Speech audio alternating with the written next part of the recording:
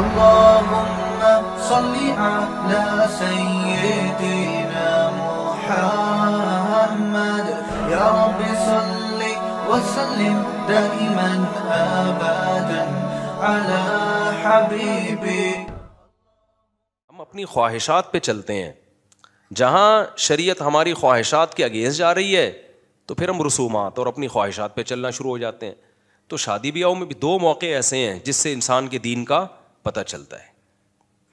दो मौके। एक खुशी में, एक गम में। तो खुशी का सबसे बेहतरीन मौका शादी समझा जाता है और गम का सबसे बुरा मौका मैयत समझी जाती है। दोनों में इंसान का पता चल जाता है कि कितने पानी में और दोनों में ये भी पता चल जाता है कि ये जोरू का गुलाम है या घर में इसकी हुकूमत है, माजरत के साथ।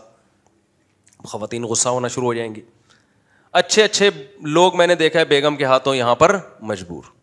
बेगम कह रही होती है, बारात नहीं की तो ये हो जाएगा। बेगम कह रही होती है, हमने तो ये भी करना है, यूँ भी करना है, फलाना भी करना है। मेरे बच्चे ने कुरान हिफ्स किया तो घर वालों ने कहा कि हमने हॉल में जो है तकरीब करनी है। मैंने कहा, नहीं, बच्चे ने कुरान हिफ्स किया, हमने उसकी हौसला अफजाई करनी, लेकिन घर के अंदर ही। जितने मेहमान आ गए आ गए, नहीं तो पतली गली से निकलो। हालाँकि हॉल में भी जायज़ है। तो घर वालों ने कहा, नहीं, हॉल में। मैंने कहा, एक बच्चे का हॉल में किया तो मेरे आगे पंद्रह, माशाल्लाह, और हैं। तो मैं तो हॉल ही में करता रहूँगा फिर, मैं तो बढ़ गया।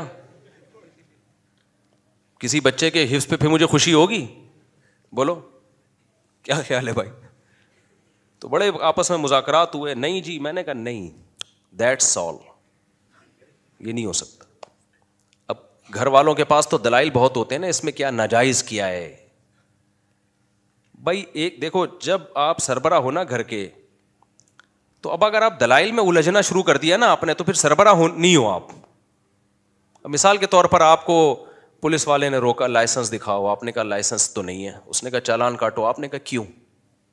पुलिस वाला अब आपको समझा रहे देखिए एक्चुअली होता ही है कि गवर्नमेंट ने एक सिस्टम बनाया हुआ है।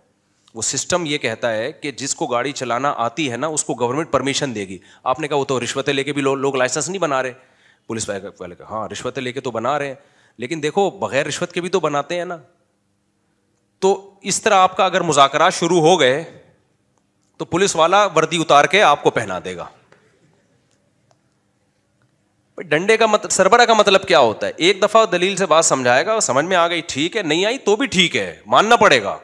मैं ये नहीं कह रहा आप घर में चंगेज खान बन के रहें, हर वक्त ऑर्डर ऑर्डर ऑर्डर चलाते रहें और घर वालों को जीने का हक ही ना दें। ये तो गलत है, ये तो नबी सल्लल्लाहु अलैहि वसल्लम की सही हदीस के खिलाफ है। आपने फरमाया, यगलिब नल करीम, इज्जतदार आदमी पर औरत गालिब आती है।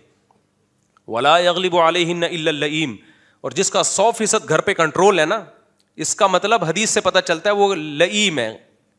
इसका उर्दू में सही तर्जमा हुआ, कमीना आदमी है वो।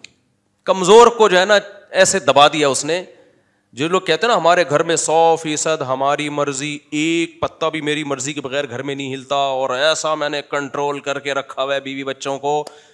तो इससे साफ़ पता चलता है भाई फिर जब हलाक हुआ था ना, उसकी नस्ल में दो चार बच्चे रह गए थे तो ये वही है। या तो चंगेज खान की औलाद में है या हलाकू खान की औलाद में। क्योंकि ऐसा नहीं हो सकता कि सौ फ़ीसद घर में आपकी चले। कुछ आपकी चलती है, कुछ घर वालों की चलती है, कुछ में आदमी बर्दाश्त करता है और नबी सल्लल्लाहु अलैहि वसल्लम की सही हदीस है भाई कि अगर पूरा अपना तसल्लुत कायम करोगे तो सही हदीस का मफहूम यह है कि घर में तलाक के अलावा कुछ भी हासिल नहीं होगा। थोड़ा सा कुछ अपनी चला दी, कुछ घर वालों की चला दी, ऐसे मिलजुल के हँसी खुशी ज़िंदगी गुजरती है। लेकिन एक लिमिट है भाई, आप वो खर्चे बेगम के कहने पे करना शुरू कर दो कि कल आपको लोगों से भीख मांगनी पड़े, वो आप अफोर्ड ना कर सको तो बड़े मसाइल खड़े हो जाते हैं इससे। आपने अपनी लिमिट भाई, ये नहीं। दूसरा, आप जब मुख्तदा और रहबर हो, आप वो काम करोगे जो गलत है। तो लोग कहेंगे, ला, लो भाई, जब अपना नंबर आया तो सब ठीक हो गया। और जब दूसरों की बारी आती है तो मिंबर पे बैठ के तकरीरें चलती हैं। तो चूँकि इस काम की नस्बत तो मेरी तरफ़ होती ना, मेरी तरफ़ नस्बत होती। जायज़ है, हॉल में भी बच्चे की तकरीब की जा सकती है, लेकिन मैंने बताया ना कि एक होता तो मैं कर लेता। अब इस पे लोग कहेंगे, इसीलिए हम कहते हैं ज़्यादा नहीं होने चाहिए। तो औलाद के होने की जो नेमत है ना, इसकी वजह से दो चार तकरीबात अगर आप मिस कर दो तो ये कोई इतनी बड़ी बात नहीं है। ये दुनिया में उससे बड़ा कौन बेवकूफ़ होगा, जो औलाद जैसे जैसे गिफ्ट को इसलिए रोके कि मैं हॉल में तकरीब नहीं कर सकता तो पागल बने की अलामत। अब देखो, हमारे बच्चे जब जवान होंगे तो मेरी बहुओं की तादाद भी कितनी होगी, माशाल्लाह। होलसेल के हिसाब से बहुएँ होंगी। एक ना एक तो काम की निकलेगी ना खिदमत वाली? दामाद होलसेल के हिसाब से होंगे, एक ना एक तो इंसान का बच्चा निकलेगा खिदमत वाला। क्या ख्याल है? तो खुशियाँ छीन ली हैं आपसे, इन लिबरल लोगों ने सेकुलर लोगों ने। तवक्ल भी छीन लिया, अल्लाह पे अतमाद भी छीन लिया। कैसे कैसे वाक़ात सामने आते हैं ना, मैं दिल चाहता हूँ उनको कैमरों के सामने लाऊं मैं उन लोगों को। और उनको कहूँ कि अपना इंटरव्यू कैमरे में रिकॉर्ड करवाओ कि हमने नस्ल रोकी थी और आज हम भुगत रहे हैं। मेरा दिल चाहता है जापानियों को सामने लेकर आऊँ, उनके बुढ़ों को, जिनको तरक्की का झांसा दे के नस्ल रुकवाई गई और वो आज रो रहे हैं। काश हमारी नस्लें बढ़ती और हम इतनी तरक्की करके भी डिप्रेशन में ना जाते। तो हम अल्लाह का शुक्र है, अल्लाह रसूल ने हमें सही गाइड किया है, बिल्कुल। हमें अब किसी और गाइडेंस की बिल्कुल भी ज़रूरत नहीं तो खैर तो मैं यस कर रहा था कि दो मौके हैं जिस पे इंसान का पता चलता है, खुश है या गमजदा है एक मौका कौन सा है भाई? खुशी का मौका, एक गम का मौका। खुशी में अक्सर शादी की मिसालें दी जाती हैं, आपे से बाहर हो जाते हैं लोग। अल्लाह मियाँ ने देखो, इंसान की क्या मिसाल दी है? इन्नल इंसान खुलिका हलुआ इदा मस्सर्रु जजुआ, व इदा मस्सहुल खैरु मनुआ। अल्लाह ने फरमाया, इंसान बड़ा जलबाज है, एतदाल में नहीं रहता, हर मौके पे आपे से बाहर। मैं हरम में था, इमाम, मैं पिछले साल उम्र पे गया ना तो शेख मुआली की तिलावत, बड़ी खूबसूरत तिलावत करते हैं वो इमाम हरम में। बड़ा प्यारा कुरान पढ़ते हैं। तो अल्लाह की कुदरत के मैं जब पहुँचा ना तो ईशा की नमाज़ का वक्त था। मैं हराम में था तो डायरेक्ट नमाज़ खड़ी थी। तवाफ़ का भी मौका नहीं मिला।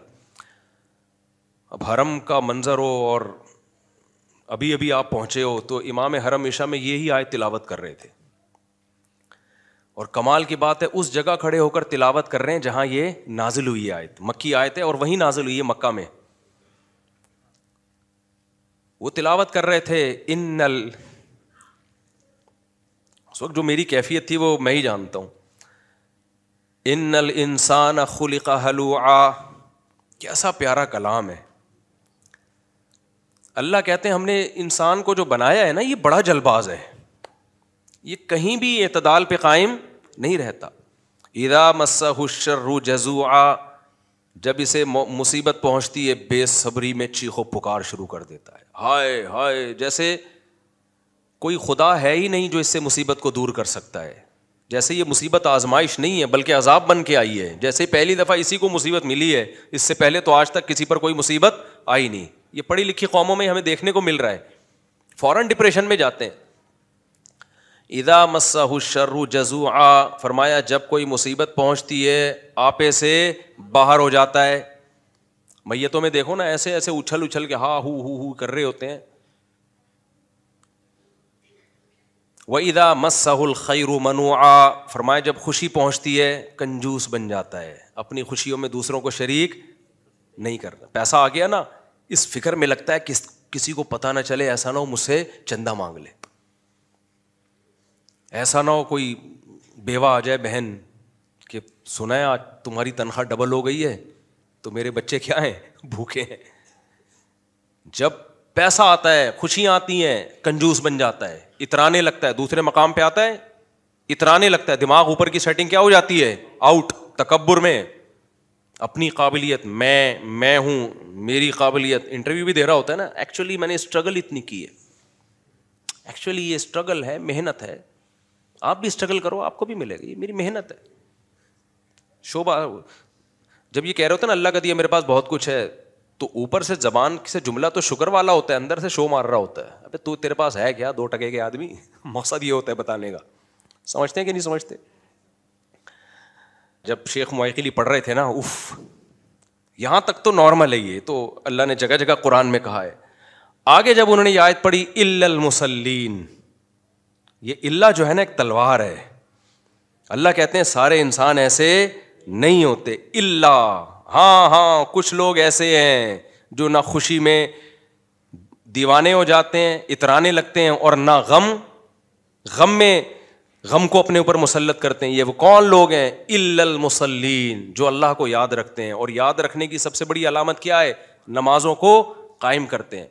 अल्लदीनहुम अला सलावात अला सलावातिहिम युहाफिजून आम नमाजी नहीं अपने नमाजों की हिफाजत नमाज़ एक साइन है नमाज़ असल में ये बताने के लिए कि अल्लाह उनकी ज़िंदगी में इन है जिनकी जिंदगियों में खुदा है ना गॉड है जिनकी जिंदगियों में वो ना खुशी में एतदाल से बाहर निकलते हैं और ना गम में वो बेसब्री का मुजाहरा क्योंकि उनको पता है खुशियाँ भी किसके हाथ में है अल्लाह के गम भी किसके हाथ में है अल्लाह के हाथ में तो जब जब सब कुछ उसके हाथ में है तो भाई कभी खुशी दे के आजमाएगा, कभी गम दे के आजमाएगा। तो आपे से बाहर होने की ज़रूरत नहीं है। खुदा की कसम, गोरा इस नेमत से महरूम, जापान वाले इस नेमत से महरूम, ऑस्ट्रेलिया वाले इस नेमत से महरूम, नफसियाती जितने भी डॉक्टर्स हैं जो आपको डिप्रेशन से निकालने की कोशिश करते हैं, वो इस नेमत से महरूम। एथियस, मुलहिद लोग इस नेमत से महरूम। इस नेमत का ताल्लुक आपके एजुकेटेड होने या ना होने से, पढ़े लिखे होने या ना होने से नहीं है। इसका ताल्लुक इससे है कि आपकी जिंदगियों में अल्लाह कितना इन है। आपकी जिंदगियों में अल्लाह को आपने कितना इन्वॉल्व किया हुआ है। और अमली तौर पर उसका सबूत आपकी नमाज़ से पता चलेगा। समझते हो कि नहीं समझते? तो जब इल्ला पढ़ा ना वो एक तो वहाँ का एक तो उनकी आवाज़ खूबसूरत, फिर वो मकाम। तो मैं सोच रहा था, यार, एक यतीम पैगंबर, जो ना लिखना जानते, जो ना पढ़ना जानते, कैसा खूबसूरत कलाम उन पे आसमान से नाजिल हो रहा है। जिसको 1400 साल सुनने के बाद इतना मज़ा आ रहा है। तो जिन्होंने सईदुल अंबिया के जमाने अकदस से सुना होगा, उनको कितना लुत्फ आया होगा। तभी तो ये मुशरकिन कहते थे, ये जादू है जादू। इन हादा इल्ला सेहर मुबीन। ये खुला हुआ जादू है। इसे सुन के इंसान इसकी तरफ़ माइल होना होता चला जाता है। भाई, ये जादू है। कुरान क्या कहता है? जादू के मंत्र ऐसे होते हैं। कभी किसी जादूगर को आपने मंत्र पढ़ते हुए देखा? उसको खुद समझ में नहीं आ रहा होता क्या पढ़ रहा हूँ मैं। एक साहब ने कहा, मेरे पास सांप का मंत्र है। मैं यूँ पढ़ता हूँ सांप कंट्रोल मैंने कहा पढ़ के सुना ना तो पता नहीं अटरम पटरम जिटन दो एकदम दो दो दुनी चार क्या पढ़ रहे थे? मैंने कहा, यार, ये सांप की भी समझ में नहीं आ रहा होगा ये। वो पटांग फेंकते जाओ फेंकते जाओ तो लोग बेवकूफ़ बन जाते हैं। तो इल्लल मुसल्लीन अल्लदीन अला सलावातिहिम, अला सलातिहिम सलावातिहिम? सलातिहिम युहाफिजून, दाइमून। अल्लदीन हम अला सलातिहिम दाइमून। आम मुसल्ली नहीं टरखाने वाले नमाजी मार्केट में बहुत हैं। अल्लाह कहते हैं, वो नमाजी जो अपनी नमाजों पर कायम दायम रहते हैं। अल्लदीन हम अला सलातिहिम दाइमून, वल्लदीन हम लिफरूजिहिम हाफिजून। फरमाए, वो लोग जो अपनी शर्मगाहों की हिफाजत करते हैं, यानी अल्लाह उनकी ज़िंदगी में प्रैक्टिकली इन है। सिर्फ़ ज़बानी खाली पीली के दावे नहीं है तो जिसकी ज़िंदगी में अल्लाह हकीकत में होता है, वो बेहयाई के कामों से बचता है, क्योंकि बेहयाई को छोड़ देना बड़ी कुर्बानी है।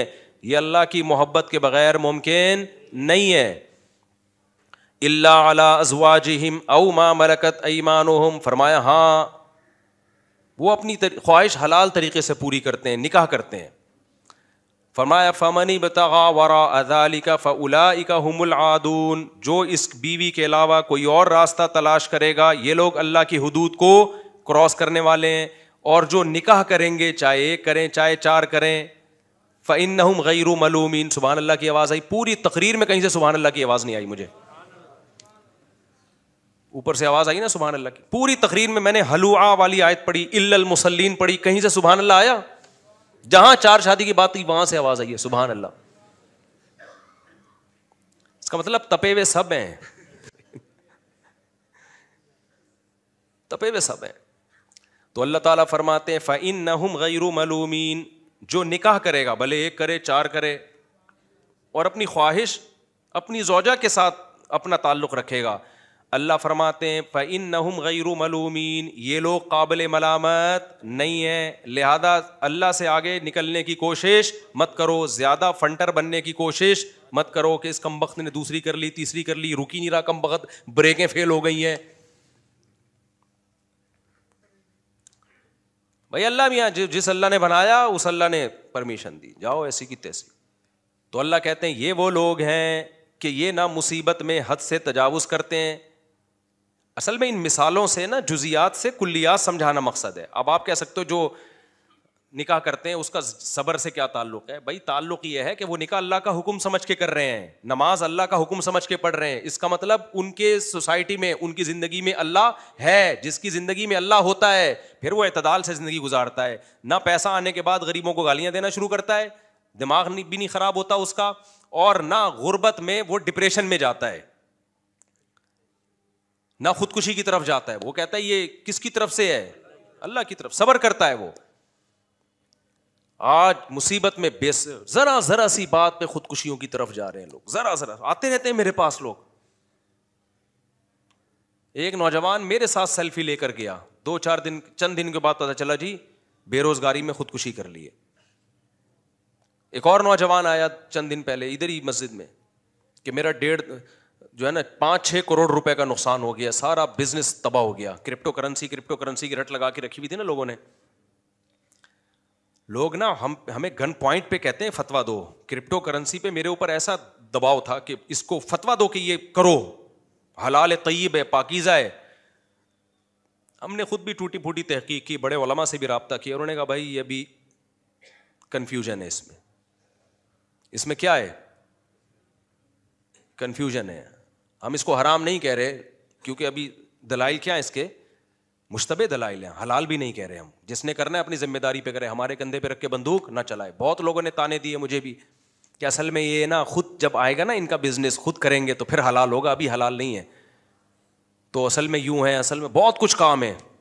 ना हमने खुद किया और हमने लोगों से भी कहा, भाई, हमारे कंधे पे रख के बंदूक नहीं चलाओ। आज उस क्रिप्टो करेंसी का असर तो देखो। दो डिप्रेशन के मरीजों से तो मैं मिल चुका हूँ। एक तो खुदकुशी करने जा रहा था, अल्लाह ने बचा लिया। दूसरा तो वो तो मेडिसिन पे लग गया तो बच गया। किसी डॉक्टर के पास गया डॉक्टर क्योंकि तीन तीन, चार चार, पाँच पाँच, दस दस करोड़ रुपए लोगों के डूबे हैं। हर आदमी चाहता है बैठे बैठे मैं क्या बन जाऊँ? अमीर बन जाऊँ ये भी बेतदाली है। तमीज से अमीर बनो, बन गए, ठीक है, नहीं तो जितना है, उस पर तो गुजारा करोगे ना। हर आदमी चाह रहा है, दो मिनट में बैठे बैठे क्या बन जाऊँ?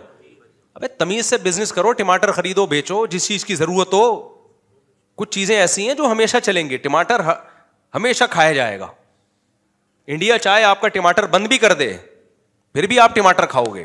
क्योंकि टमाटर की कढ़ाई का जो मज़ा है, वो विदाउट टमाटर नहीं है। लेकिन छिलका बीज निकाल लिया करो, अगर मुझे खिलाना हो तो। मुझे छिलके बीज से एलर्जी है। क्योंकि अब वो सुन के ना लोग मेरे लिए खूब टमाटर ला ला के रखें। तो टमाटर का छिलका बीज से मुझे एलर्जी है, हरे को नहीं होती मुझे है। तो गोश्त है, हर दौर में इंसान खा रहा है प्रॉपर्टी है, हर दौर में आज प्रॉपर्टी गिरी है, कल दोबारा, क्योंकि रहना तो है ना, बच्चे तो पैदा हो रहे हैं तो जगह तो चाहिए ना इंसान को। क्या ख्याल है भाई? आप आबादी आज नहीं, कल डबल होगी तो उनको चाहिए होगा प्लॉट चाहिए होगा। तो ये तमीज वाले बिज़नेस हैं, इंसानों वाले बिज़नेस ये किया करो। और वो जो आजकल एक आ रहा है, वो क्या है, वो चेन की एक सूरत बनती है ना, पाँच आदमियों को आपने पहना दी वो चीज़, वो आगे पाँच को पहनाएगा, उसका भी आपको कमीशन आएगा। ब्लॉक चेन कहते हैं, उसको क्या कहते हैं? क्योंकि हमने जब इस पर रिसर्च की तो गोल्डन की के नाम से कंपनी ने बड़ा बेवकूफ़ बनाया था लोगों को। हम लोगों को मना कर रहे हैं, ये कमाने का सही तरीका नहीं है। ये कौन सा तरीका है? वो अगला पाँच पाँच पाँच को पच्चीस को बेचेगा तो उनका कमीशन आपको किस खाते में मिल रहा है? इसका नुकसान होगा आखिर में जब कोई, जो बंदे रह जाएँगे ना, जिनको पहनाने के लिए कोई बंदा मिलेगा ही नहीं, उनकी रकमें डूबेंगी। ये गोरे ने, गोरे का कोई दिन नहीं है भाई। वो कहता है, जिस तरह से पैसा आता है, आए बस। इस्लाम ने आपको एक बाउंड्री खींची है। ये जायज़ तरीका है और ये नाजायज तरीका है। तभी तो इंश्योरेंस हराम है कि आपके अब्बा मर गए तो आपको पैसे मिल जाएँगे, नहीं मरे तो इंश्योरेंस कंपनी का फ़ायदा है। अबे, ये पैसा कमाने का कौन सा तरीका है? ये तो जुआ है। समझते नहीं हो बात को? तो तभी इंश्योरेंस कंपनियाँ, अगर ये ताउन कर रही होती ना तो कभी भी आपके टीबी के मरीज़ की बीमा पॉलिसी लाइफ इंश्योरेंस ना होती उसकी। वो पहले चेक करते हैं, बंदे के मरने के चांसेस कितने हैं। अगर मरने वाला है, बिल्कुल भी उसके साथ ताउन। उनको पता है ये अभी पॉलिसी लेके फ़ौरन अगले दिन मरेगा ठीक ठाक पैसा इसको देना पड़ेगा वो। बिल्कुल बॉडी बिल्डर हो, उसके डोले शोले बने हुए हो फिट फाट हो, बिल्कुल। उसको कहते हैं, ये है, ये आए, जिसके अभी फ़िलहाल वो उसमें सौ पचास इस तरह के आ गए तो उन्होंने कहा, अगर एक मर भी गया ना तो निन्यानवे का प्रॉफिट तो हमें मिल जाएगा। अब चूँकि अल्लाह का कानून है, वो अल्लाह तो पाबंदियाँ लगाते हैं, इंसान तो कहता है, जाने दो भाई।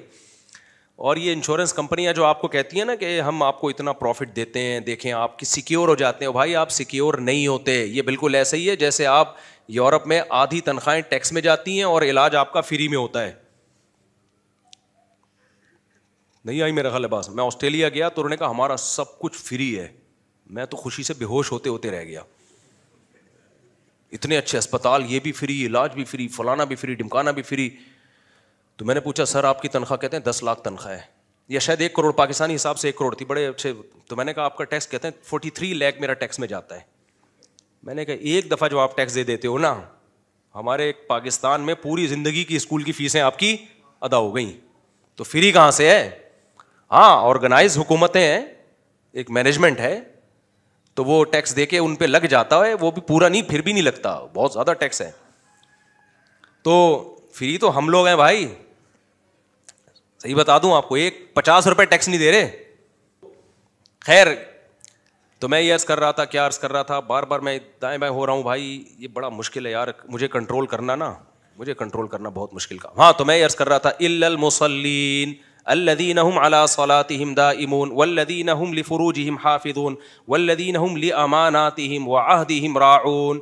अल्लाह कहते हैं, मैं जिनकी ज़िंदगियों में इन होता हूँ जो अतदाल वाली ज़िंदगी होती है, ना खुशियों में इतराना शुरू करते हैं, औकात से बाहर आ गए।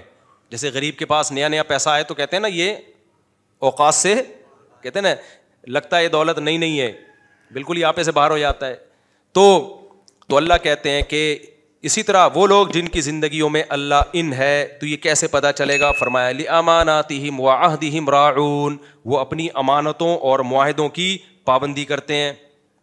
मुसलमान कभी भी किसी की अमानत में ख़यानत नहीं करता। अगर वो किसी का किराएदार है तो मालिक मकान को बेल दबा के खड़ा नहीं होना पड़ता। वो उसका किराया, जो उसकी अमानत है, उसके अकाउंट में पहली तारीख को या बहुत ज़्यादा पाँचवीं तारीख को बग़ैर कहे डाल देता है। अगर वो डाल रहा है तो इसका मतलब उसकी ज़िंदगी में अल्लाह है। अगर वो नहीं डाल रहा और टरखा रहा है तो इसका मतलब उसकी ज़िंदगी में अल्लाह नहीं है तो आप भी कोई टेंशन आने तो फिर देखो कैसा पागल होगा ये।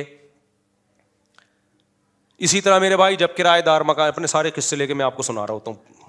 अगर कोई किराएदार मकान खाली कर दे तो मालिक मकान उसका एडवांस छः छः महीने साल साल रोक के नहीं रखता, बगैर कहे उसको टाइम पे वापस कर देता है। अगर वापस कर रहा है, इसका मतलब ये मालिक मकान इंसान का बच्चा है। और अगर किराएदार फ़ोन कर करके उसको याद दिला रहा है अगर वो मालिक मकान मेरे भाई बार बार आप किराएदार उसको याद दिलाए भाई अल्लाह के बंदे मेरा किरा, मेरा एडवांस तो दे दे और वो कह, कल दूँगा, परसों दूँगा, तरसों दूँगा। इसका मतलब ये मालिक मकान इंसान का बच्चा नहीं है। इसकी ज़िंदगी में अल्लाह नहीं है। इसको कोई खुशी या गम आने दो, फिर देखो इसका होता क्या है। पैसों में मेरे भाई आजकल नमाजी भाई भी हमारे माशाल्लाह बड़े मामला ख़राब चल रहे हैं। तो वो जो मैं बता रहा था ना, डेढ़ पाँच छः करोड़ का नुकसान करके आया, खुदकुशी बेचारा करने वाला था तो मैंने उसको समझाया, मत कर। कह रहे मैं क्या करूँ? मैं शादीशुदा हूँ, अब मैंने क्रिप्टो करेंसी में बढ़ गया मैं, पैसा बर्बाद हो गया मेरा। तो मैंने कहा, मेरे भाई, आपने गुनाह किया, गुनाह का हल क्या है? दो रकत पढ़ के अल्लाह से तोबा करो तो अल्लाह से रो रो के माफ़ी मांगो, रोना नहीं आता, रोने जैसी सूरत बना लो। कितना आसान कर दिया अल्लाह ने, क्योंकि रोना अपने इख्तियार में नहीं है। हाँ कुछ लोग हैं जिनके इख्तियार में जब चाहे बटन दबाए, रोना शुरू कर देंगे, टीवी पे आते हैं ना। शब बारात पे ढिन ढिन रो रहे हैं, उसके बाद हंस रहे हैं, वो पता नहीं वो उनको, अल्लाह ने क्या सलाहियतें दी हैं। तो वो एक्टर लोग होते हैं, मजहबी एक्टर भी बहुत हैं दुनिया में, सियासी एक्टर भी बहुत हैं। बाज दफ़ा जिसने मारा होता है, वही रो रहा होता है सबसे ज़्यादा जनाजे में। हकीकत? यहाँ एक्टिंग बहुत है, लेकिन सच्ची मुच्ची का जो रोना है भाई, वो अपने कंट्रोल में नहीं होता। तो अपने कंट्रोल में थोड़ी होता है जो सच्ची मुच्ची का रोना है। तो अब अल्लाह ताला क्या फरमाते हैं? हाँ वो वो जो था ना, वो मैं चूँकि ये वाक़ सुना दूँ, और भी बहुत सौ को खुदकुशी के अल्लाह ने अगर ख्याल आ रहे हो तो ये सुन के ना उनको मोटिवेशन मिलेगी। खुदकुशी की तरफ़ नहीं जाएँगे। अब वो करोड़ों रुपए डूब गए। शादीशुदा आदमी है। मैंने कहा, पहले तो दो रकत पढ़ के अल्लाह से क्या करो? तो बाकी अल्लाह, मैंने एक दिन में करोड़पति बनने की कोशिश की है, मुझे माफ़ कर दे। दुनिया को मुसाफिर खाना मैंने नहीं समझा। और मना भी कर रहे थे क्रिप्टो करेंसी एक रिस्क की चीज़ है। हवाई चीज़ है, एक सॉफ्टवेयर है। तो तो कह रहे मैंने मैंने कब, कहते हैं, फिर अल्लाह माफ़ कर देगा। मैंने कहा हाँ कह रहे अब्बा तो नहीं माफ़ करेंगे ना? बीवी बच्चे कहाँ से तो नहीं माफ़ करेंगे ना? कह रहे जब घर में जाओ, ताने मिलते हैं, ताने मिलते हैं। मैंने कहा, देखो, अल्लाह ने इंसान को ऐसा बनाया है कि जब बार बार उसकी बेज़ती होती है और वो बर्दाश्त करता रहे तो उसकी इज़्ज़त खुद ब खुद खत्म हो जाती है। और जब इज़्ज़त खत्म होती है तो बेजती फील होना खत्म। हकीकत है। वो एक एक आदमी था ना, किसी महल्ले से आया, कहता है, अल्लाह का बड़ा फजल है, मेरी इज़्ज़त नहीं है इस इलाके में। लोगों ने कहा, इसमें फजल की क्या बात है? कह रहा, अगर इज़्ज़त होती ना तो आज बड़ी बेइज्जती हो जानी थी। मुझसे काम ऐसा हो गया कि बेइज्जती। कह पहले से इज़्ज़त ही नहीं थी। देखो, कोई चरसी हीरोइनची जूते चुराता हुआ पकड़ा जाए तो अपनी बेइज्जती फील करता है वो? बिल्कुल भी फील नहीं करता वो। तो मैंने कहा, मेरे भाई, जब आप चंद दिन अब्बा के ताने सुनोगे, इधर से ताना, बीवी का ताना, बच्चों का ताना तो चंद दिन सबर कर लो। क्योंकि वो ना घर छोड़ के रोड पे सो सकता है भाई। बीवी बच्चे छोड़ के कहाँ जाए वो? तो मैंने कहा, थोड़े दिनों में ये होगा कि आपको बेजती फील होना बेजती होगी फील नहीं होगी। सही होगी, मगर फील उतना खुश हुआ ना, सही बात। ऐसा खुश हुआ, मुझे लगा उसके चेहरे पे बाहर आ गई। मैंने कहा, चंद दिन की बात आदत हो जाएगी। हर वक्त आने, हर वक्त आने। मैं ये सब भुगता हुआ हूँ असल में। क्योंकि मैंने जब दूसरी की थी ना तो मेरे साथ यही हुआ था। ये सब प्रैक्टिकली हो चुका है मेरे साथ। तो मुझे अपनी शुरू में बहुत बेजती फील होती थी। मुझे लगता था दुनिया का सबसे बुरा आदमी इस कायनात में मैं हूँ। थोड़े दिन में फील होना खत्म हो गई। तो उसके बाद ऑटो पे सेट हो गए हम। ऑटो पे हो गए। तो अल्लाह ताला क्या फरमाते हैं कि भाई, इल्लल मुसल्लीन हाँ वल्लदीन हमली अमानात हिम वाहदिहिम राउन अमानतों में ख़यानत नहीं करते। दो नंबर ही नहीं करता मुसलमान। माहों की खिलाफ वर्जी नहीं करता। जबान से कुछ बोल रहा है और दिल में नीयत कुछ और है। आजकल जो जितनी ज़्यादा टोपियाँ कराए ना, उसको उतना साहेब कमाल समझा जाता है। जितना झूठ बोलेगा, उतना अच्छा समझा जाएगा। तिजारत में तो अब एतमाद ही नहीं रहा ना। यहाँ की प्रोडक्ट अच्छा मेरा एक बयान चला है कि हमारे मसालों पर बाहर मुल्कों में पाबंदी है। ये वो फेसबुक पे बयान चला है। उस पर लोगों ने नीचे कमेंट्स किए हुए ये झूठ बोल रहे हैं। हमने तो बहुत सारे अपनी कंपनियों के मसाले देखे हैं। देखो, जब एक आदमी इतने कॉन्फिडेंटली किसी मेंबर पे बैठ के दावा करता है ना तो गलत नहीं कर रहा होता। अगर आपको लग रहा है कि गलत कर रहा है तो आप उसकी बात को समझो। आप उसको सफ़ाई का मौका दो। एकदम झूठ के इल्ज़ाम लगा देना। मेरी दुनिया में कितनी ट्रेवलिंग हुई है तो मैं इतना बड़ा झूठ बोलूँगा कि इन कंपनियों को बदनाम करने के लिए। बाहर मुल्कों में जो मसाले मिल रहे हैं ना, उनका फॉर्मूला चेंज होता है। समझते हो कि नहीं समझते? तो मैंने ये नहीं कहा कि इन कंपनियों को पर बैन है। मैंने ये कहा है कि ये वाले मसाले बाहर इन कंपनियों के नहीं मिल रहे हैं। तो फॉर्मूला चेंज होता है। यहाँ जिन जो आपके मसाले मिल रहे हैं, उनका फॉर्मूला अलग है। बाहर जो मिल रहे हैं, वो अलग है। तो ये तो मैंने खुद यहाँ के मसालों की बिरयानियाँ भी बाहर खाई हैं कोर में भी खाए हैं पेट नहीं खराब होता। यहाँ खाओ तो खराब होता है। और ये तहकीक की है पूरी कि वो चेंज है कुछ चीज़ें यहाँ पर ऐसी डाली जा, जाती हैं जायका बढ़ाने के लिए जो आपकी सेहतों का बेड़ा गर्क करती हैं। लेकिन टेस्ट उससे गेन हो जाता है तो पब्लिक फोड़ती फाड़ती है क्योंकि वज़ीर खुराक का पता ही नहीं वो मार्केट में है कहाँ पे वो। और वज़ीर खुराक अगर बेचारा आएगा भी तो चार डब्बे उसको फ्री में दे देंगे मसालों के। तो इन वज़ीर खुराक के अलावा की बात कर रहा हूँ, जो भी मौजूदा वज़ीर खुराक है। तो खैर तो बाहर मुल्कों में मसाले हैं, पाबंदी का मतलब मेरा ये नहीं था कि ये नाम पे ही पाबंदी है, ये मैंने बयान में ये दावा नहीं किया है। तो मैं लोगों से भी कहता हूँ कि थोड़ा सा अखलाकियात के दायरे में रह के कमेंट्स किया करें। आप ये बोल दें कि मुफ्ती साहब को गलत फहमी हुई है बोला झूठ बोल रहा है ये मौलवी, इस तरह कितना ये मौलवी झूठ बोल रहा है, मुझे क्या झूठ झूठ बोलने से मिलेगा भाई? झूठ बोल रहा है ये मौलवी, झूठ बोल रहा है मौलवी, ये मसाले हैं। तो क्वालिटी में फ़र्क है। कुछ चीज़ें ऐसी डाली जाती हैं जो बाहर मुल्कों में पाबंदी हैं। तो वो सारे मसाले उठा के ना कंटेनर समेत समंदर में फेंक देते हैं। वो कहते हैं, ये पाकिस्तानियों को खिलाओ। ये इनकी आंतें ही इस तेज़ाब को हज़म कर सकती हैं। हमारी आंतें अभी इस काबिल हुई नहीं है। तो गंद है जो हम लोग खाते हैं। खा लेते हैं, हम भी खा लेते हैं जाके अब होटलों में। लेकिन इसके फ़जाइल कम अज़ कम ना सुनाया करें। और ये क्यों हो रहा है? इस आयत की मुखालफत। ली अमानात हिम वाहदिम राउन माहों की पाबंदी अमानतों में ख़यानत। जब कोई बंदा होटल में खाना खाने के, के लिए जाता है तो वो भी तो एक आप पर एतमाद करके गया है ना? क्या ख्याल है भाई? तो उसको अगर आप सिर्फ़ टेस्ट के लिए नुकसानदेह चीज़ खिलाना शुरू कर दें तो ये भी तो उसके साथ ख़यानत हो रही है। वो आप पर एतमाद करके आए आपके होटल में। तो ये ख़यानत माशाल्लाह तबीयत से चल रही है हमारी सोसाइटी में। तो इल मुसलिन ये मैं बता रहा था कि वो जब उन्होंने पढ़ा ना इल मुसलिन तो कैसा प्यारा कलाम है। तो खैर, जल्दी से बात को समेट के ख़त्म करता हूँ, वक्त हमारा पूरा हो गया। कि भाई, अल्लाह ताला ने जो हमें दीन और मज़हब दिया है तो मुसलमान का खुशियों में पता चलता है और गम में। तो मैं गम की बस जल्दी से